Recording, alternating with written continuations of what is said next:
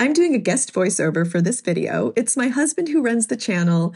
He's an Everton fan, by the way, and before you say it, yes, he knows they're crap. Anyway, it seems Liverpool are getting some special treatment from refs and VAR lately, none more so than their last game with Brighton.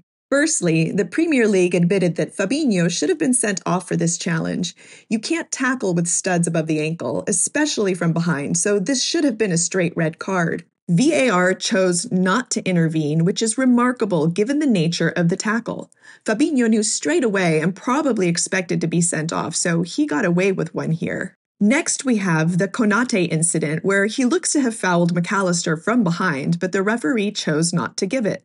Although VAR cannot tell the referee he has missed a foul outside the area for a booking, they can advise a review for a potential red card for denying an obvious goal scoring opportunity. If this is given as a foul, it has to be a red card in the circumstances. So VAR official Neil Swarbrick must have determined that it was not a foul. How he arrived at that conclusion, given the evidence, is confusing. Liverpool still lost the game, but two players should technically now be facing suspensions.